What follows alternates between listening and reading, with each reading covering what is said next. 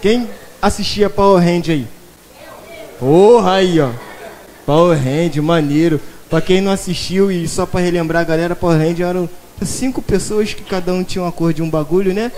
Tá ligado? Aí lutava contra os monstros, a porrada comia. E aí o monstro puto que tava perdendo ficava grandão do nada. Vocês lembram disso? Não era assim? E eu e minha sobrinha, eu sempre passava as férias na casa da minha irmã, que eu e minha sobrinha tem basicamente a mesma idade, tá ligado? E a gente gostava de brincar de Power Hand. E aí a gente, pô, vamos brincar de Power Hand, vamos brincar de Power Hand. Aí ela, eu vou ser a rosa. Eu falei, eu vou ser o vermelho. Aí ela, não.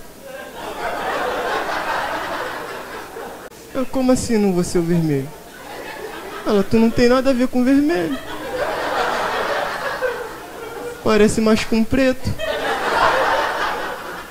Ah, então tu não pode ser a rosa, não?